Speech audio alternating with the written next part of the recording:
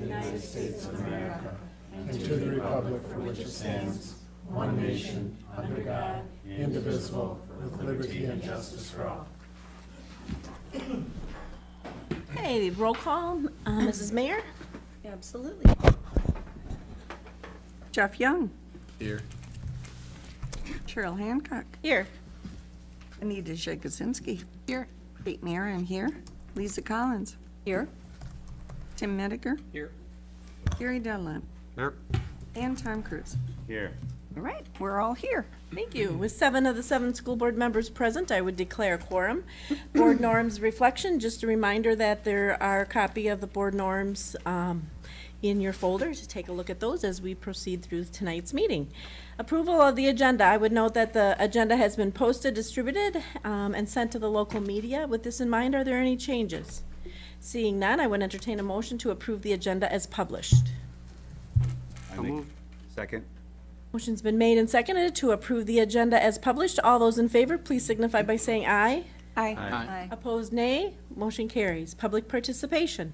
Is there anyone who wishes to address the board relative to any item at this time? We ask that a five-minute time period per person be followed.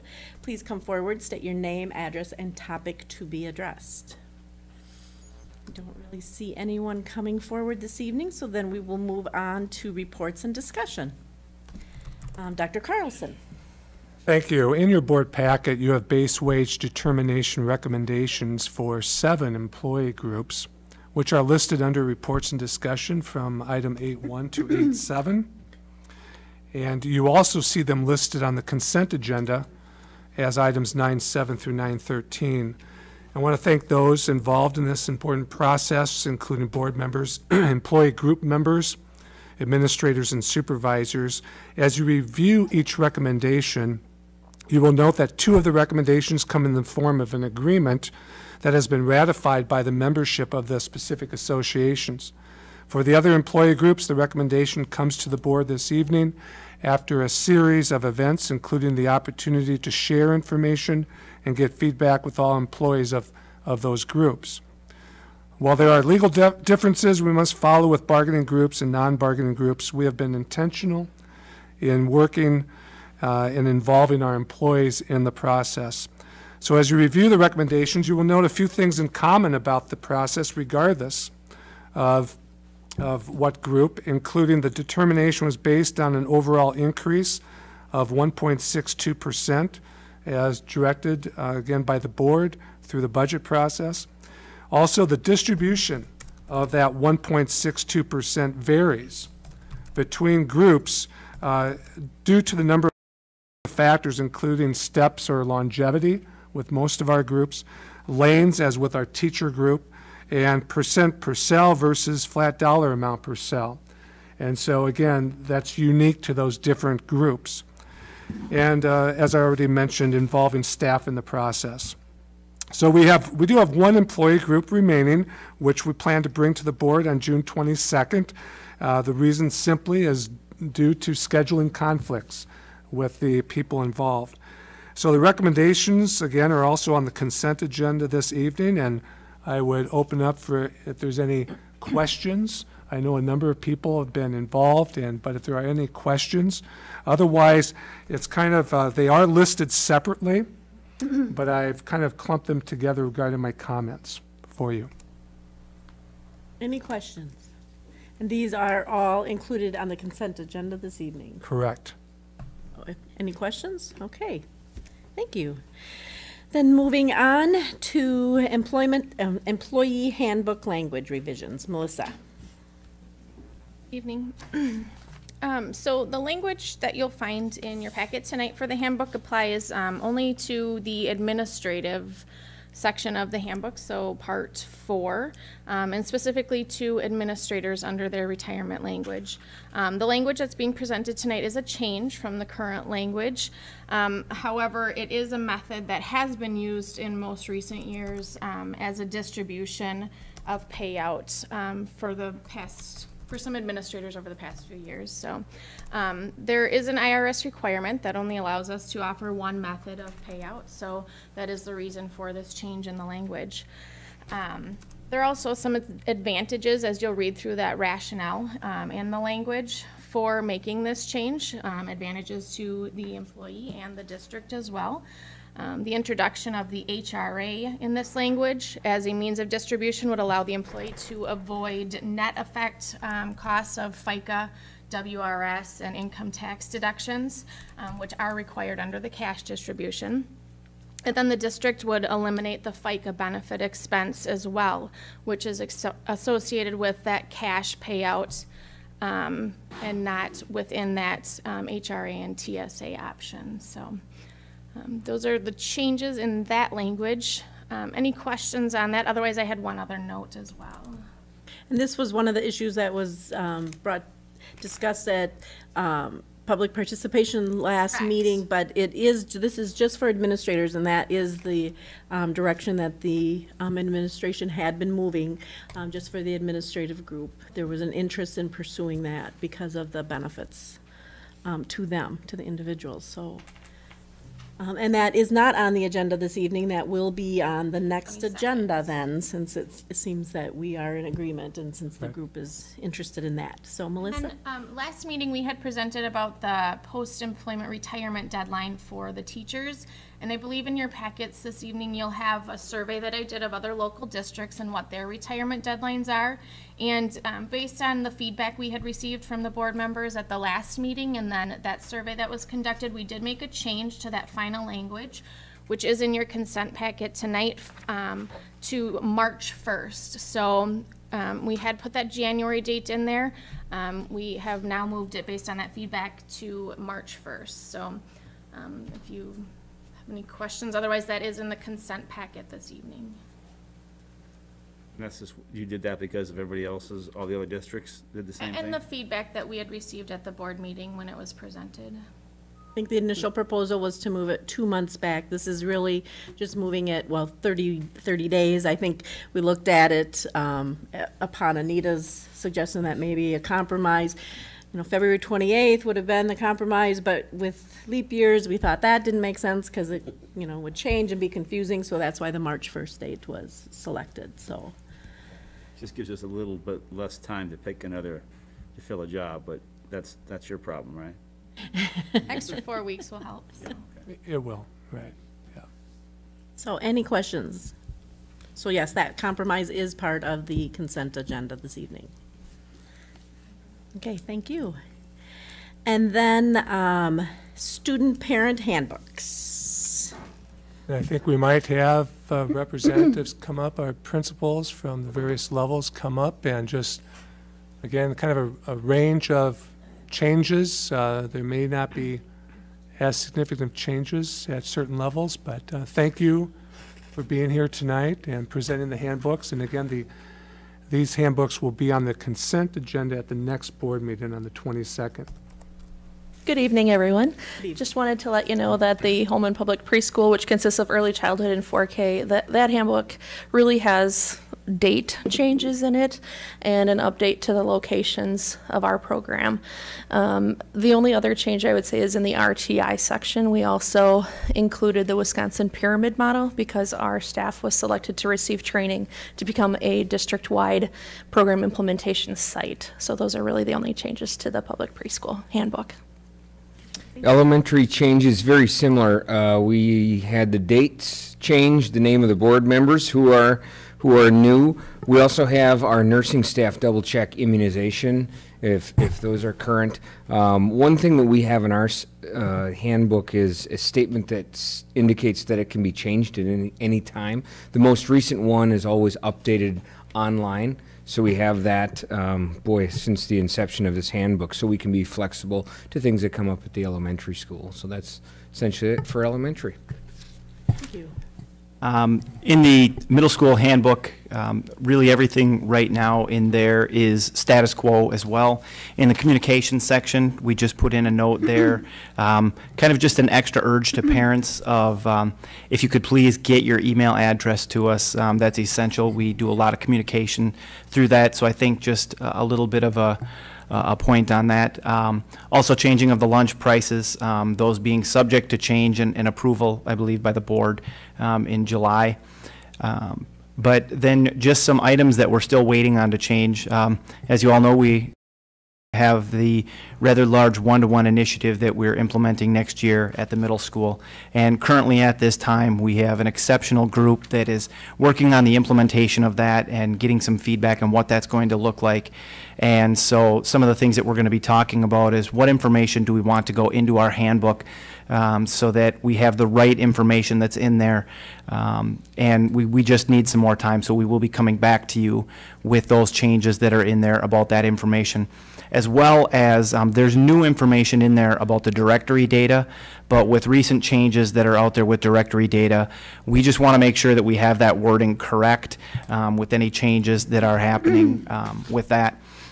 The final piece um, that we're looking at is, um, right now with student accident insurance, um, just making sure that what we're doing as a district, we have that worded correctly in there as well. And so we believe that we have that in the right spot right now, but I thought it was important just to bring that forward, that those three items are items that we are making sure that we have written in there correctly um, as those changes take place.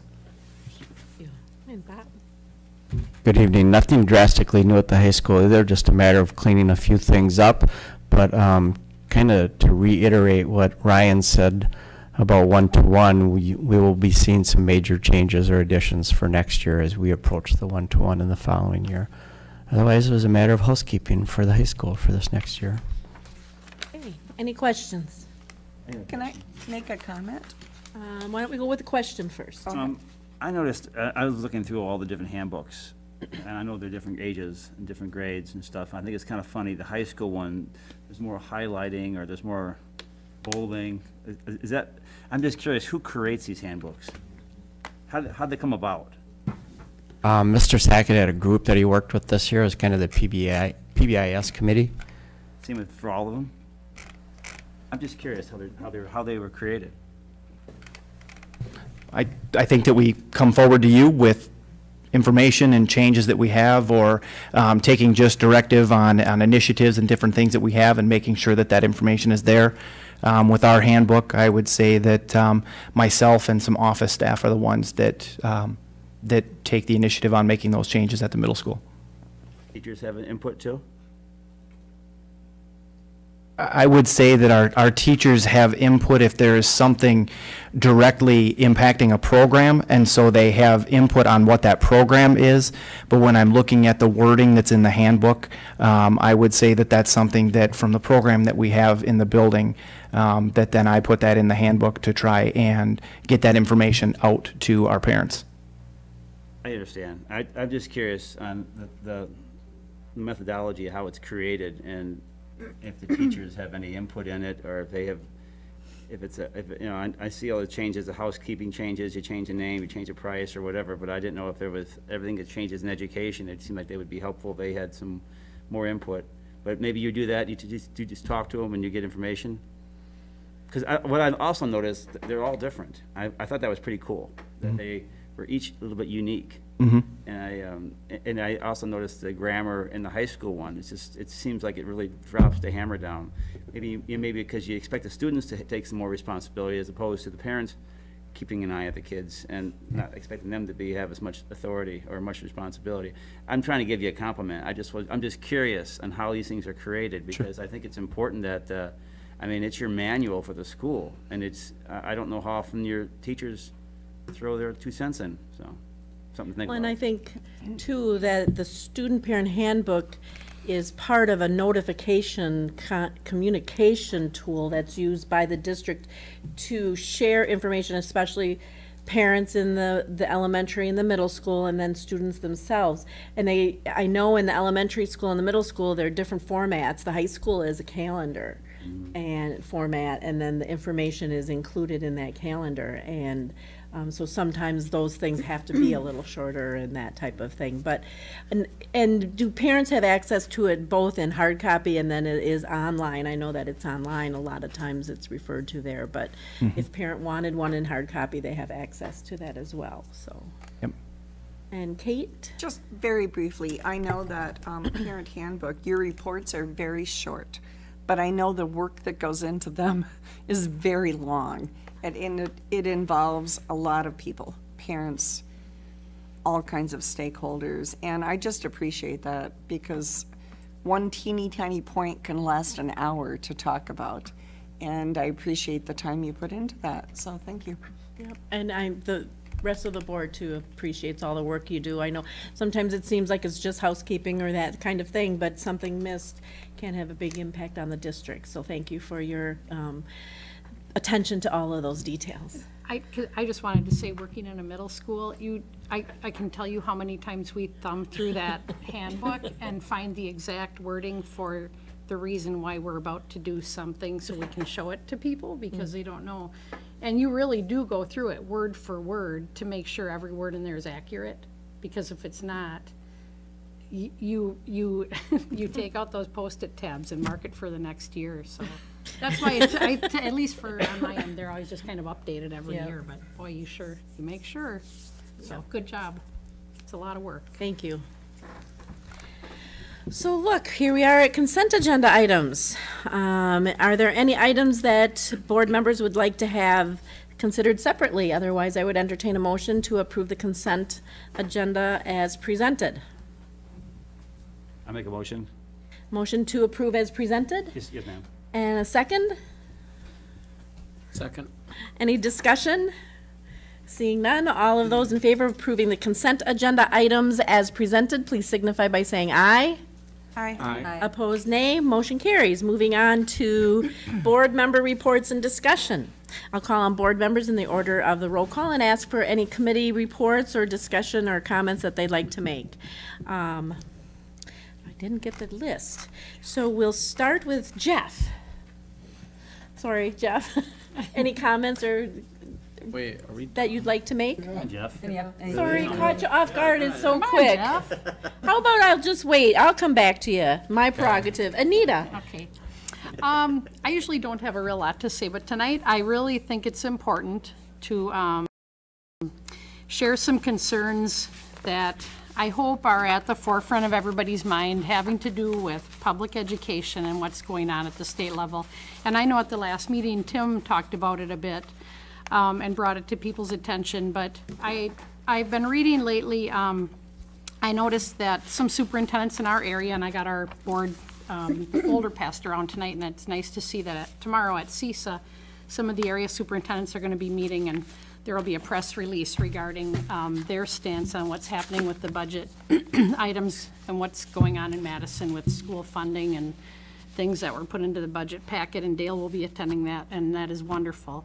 Um, There's a letter that the superintendent um, in River Falls, there's, a he sent an open letter to the community there, and it's pretty succinct.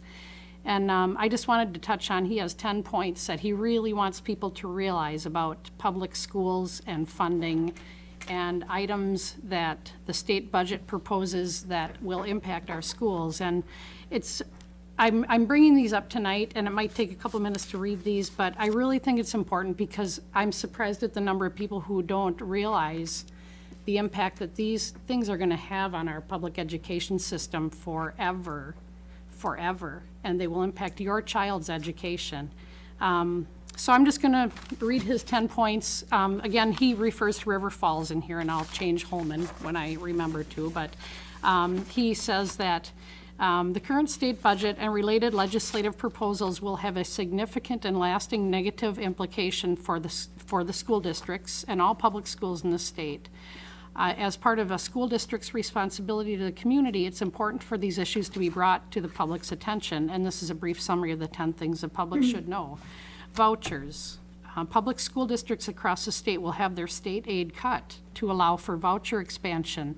These are public tax dollars used to pay for a student's private education. Voucher expansion will mean less money for public schools, including Holmen voucher impact. Students from, again, he refers to River Falls, could receive vouchers to attend private religious or secular schools. We, they would lose $7,856 for each high school student from the district to support private and religious school education. These funds are state tax dollars. If private schools around the state are publicly funded as proposed, their district, which would also be Holmen, will struggle to maintain the educational quality that people in Holmen have worked so hard to build. Decreased funding. Funding for public education is declining while mandates, those are demands put on us, are escalating. National decline. The state education budget drives Wisconsin under the national average in per pupil spending. The legislature is pouring money into private, private voucher schools at the expense of maintaining a public system that has been our source of pride in this state for more than 100 years. A freeze. The legislature plans a no future cost of living increases for teachers and other staff. This threatens Holmen's ability to attract and retain high-quality faculty now and in the future. Offering nothing will undermine our ability to maintain, let alone improve, the high-quality education our children currently receive extracurricular, the new law, and again, these, some of these things are policy items that the Joint Finance Committee snuck into the, this budget bill in the middle of the night at 1:30, as Tim referred to at the last meeting. No discussion, no public hearings, no public input. Extracurricular, the new law would allow homeschooled students and virtual school students to participate in any curricular, extracurricular, or athletic team that our district offers. This means students from area private schools would also be eligible to participate on our school's team in certain sports. This raises a multitude of eligibility questions and different eligibility requirements for members of the same team. It also means that kids who are homeschooled or voucher schooled could bump Holmen students, athletes off of our team, which I don't think a lot of people realize. Number seven, dilutes diplomas. the new law would allow learning portfolios to replace up to one half of the credits needed to graduate from high school. I'm going to read that again. The new law would allow learning portfolios to replace up to one half of the credits needed to graduate from high school. Concerns include the likelihood that the rigor needed to earn a high school diploma will be significantly reduced, jeopardizing both in and out of state college acceptance. License to teach. The new law eliminates many, many standards for licensing teachers with no bachelor's degree needed to teach our students in multiple subject areas. School districts, I'm sure, do not intend to hire non-certified teachers or teachers without college degrees. But nonetheless, this brings up much concern about deprofessionalization of teaching in Wisconsin. Special ed vouchers. The proposed law allows students in special ed to use $12,000 in publicly funded annual vouchers to attend private and parochial schools. But in these schools, these students would not be guaranteed the legal rights and protections that are afforded to them by federal law. At the same time, the legislature is allocating money for special ed students in private and parochial schools. It is not increased funding for public school ed, special ed students in eight years. Number 10 is testing, which I'm sure we're all pretty sick of. The standardized state tests that students are required to take will be different for the third consecutive year. Districts will not be required to take the same tests, which makes district-to-district comparisons very difficult. Our students do extremely well on the standardized tests. They are given, and we welcome the opportunity to compare ourselves to any competing school. But common sense tells us that adequate comparison can only be made when students in each district are taking the same standardized tests. And finally, what can be done? The time is now to voice our opposition to policies and legislation that will undermine our ability to support quality education for our kids. Please, parents, if you are out there watching this, be active in advocating for our schools with the legislature, the Joint Finance Committee, they add, they answer to all of us, not just, not just the people in their own districts, and Governor Walker. The future of Holmen's children depends on your involvement. And that's all I have. Okay, thank you. Um, Kate Mayer. Thank you, Anita, for being intelligent and eloquent. What you just said, ditto. These are um, really horrific times as we struggle as a board to figure out what to do with less and less money. Um, so I thank you for all that you just said, and I'm not going to go any further than that. But I do appreciate it, and I do piggyback on top of you. Please, people, look at what laws will do to Holmen School District. It's big. It's very big. Okay, Thank you. Lisa Collins. I can't, I can't really follow any of that. I I totally agree with all that also, and I don't really have anything else to add. Thank you. Tim Menninger? Uh, Just a couple of things this evening. First off, thanks Anita for those wonderful information. Um, I, I- I guess in following up on on something I had thought about, and I think it's important we continue to have our voices heard, but there is one thing that if we haven't already done, we can do something about, and I hope that we have a board policy that says that we will not hire unlicensed teachers, and if we don't, I would like to have the Personnel and Governance Committee maybe take that up. Um, Because that is something that we absolutely can do something about, and so if we Already don't. on my first agenda for next year. So so- if we don't have that in a policy, if we Yeah. could uh, certainly uh, take a look at that, that would be wonderful. Um, And then the only other thing, and I think everybody knows, I see Cheryl's already smiling, we only have three more board meetings tonight after the fall sports start. So just keep that in mind, summer will go fast. Yes, it will. Three? Only Gary Three more Dunlap. after tonight. I'd like to ask the middle school principal, what was the, I don't want to get it wrong, what was the recognition for the middle school?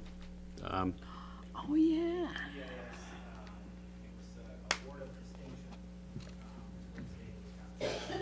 Congratulations on that, well-deserved, you guys work hard over there, and proud to have my grandkids over.